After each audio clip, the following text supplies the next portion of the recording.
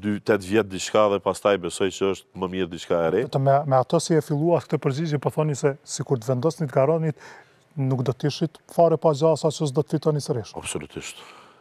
Po thom me pas qenë ashtu. Do të fitonit edhe në këtë mandat të tretë. Në vitin 2017 kam hy në sondazhe në në garë kur kam qenë diku në 65%. Domethënë kam qenë i sigurt fitore, por mandej me Arban Abrashin diferenca ishte treqind e gjashtëdhjetë e pesë vota. Që i bie se s'e përjashtoni mundësinë që të fitonit po të ishit në garë edhe kësaj radhe. A varet se tash me e pa edhe këta kandidatë që kanë hyjt pas një muji tash mendojnë se munen me mujt Arben Vitinë. Me pas qenë fillim para këtyre numrave të pandemisë kishin thonë s'kem gjasa veç po hyjmë për sa për sy e faqe, sot ke edhe kandidatë që kanë synojnë vendin e tretë që mendojnë me hyjnë që janë momentalisht në tretin vend dhe synojnë me hyjnë balotazh.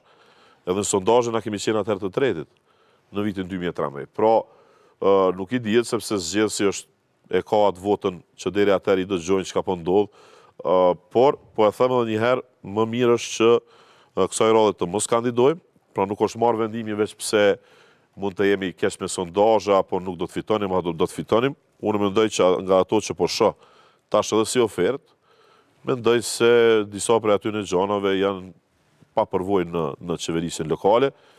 Kjo nuk do të thotë se uh, ata duhet të dinë më mirë se unë punët e komunës, edhe po të jesh më i keqi prej tetë deri pesë kur punon një punë i din më mirë, por edhe këto 8 vite të bëjnë pak cinik. Se tash kur i dëgjon do premtime, fillon me qesh, a është e mundshme, a është e mundshme, e din buxhetin shumë. Kjo po ju ndodh ju, po i shihni prezantimet dhe po, po qeshni. Unë jam, domethënë, jam